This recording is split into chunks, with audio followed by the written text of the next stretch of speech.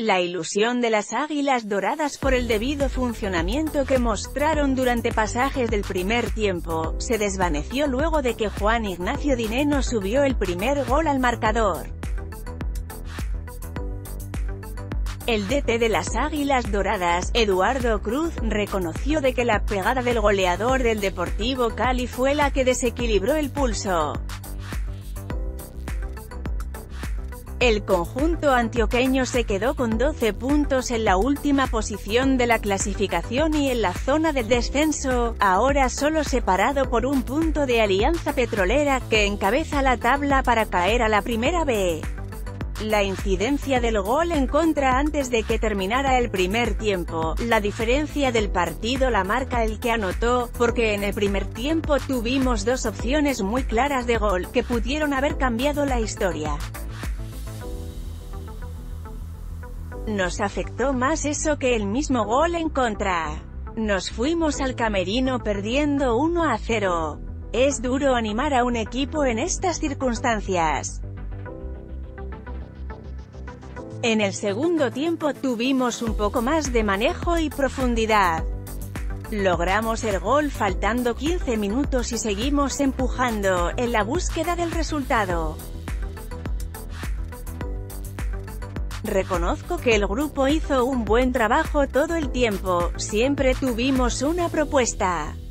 La propuesta en la cancha, hicimos las transiciones para crear las situaciones, pero no fuimos efectivos. Tratamos de manejar el partido desde atrás para que ellos se vinieran un poco y dejaran espacios, sin embargo, en el momento en el que teníamos que anotar, no fuimos efectivos. Ahí creo que se marca la diferencia del partido. Tenemos que rescatar la actitud del equipo para tratar de desarrollar todo el tiempo la propuesta que teníamos. La mayor fortaleza del Cali, los cambios surtieron efecto, pero no fueron suficiente. Teníamos que atacarlos por los costados y hacer el duelo con los centrales. Tenemos que estar mucho más atentos en las jugadas de bola quieta, como pasó en los dos goles que nos hicieron. Son situaciones de juego que se tienen que manejar. El Cali tiene una buena nómina, es un equipo que es rápido en las transiciones y tiene un goleador.